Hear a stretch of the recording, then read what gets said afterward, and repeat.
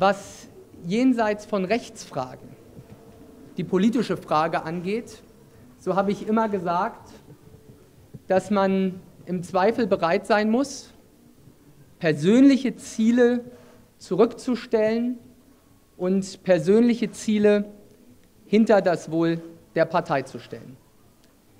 Deshalb habe ich mich an dieser Stelle heute trotz überragender Unterstützung und viel Zuspruch, auch aus den eigenen Reihen, entschieden, dass ich für das Amt des Landesvorsitzenden der CDU Mecklenburg-Vorpommern nicht zur Verfügung stehe. Ich möchte an dieser Stelle keine Belastung für die Partei sein und ich möchte, dass wir alles dafür tun, erfolgreich abzuschneiden bei den anstehenden Wahlen.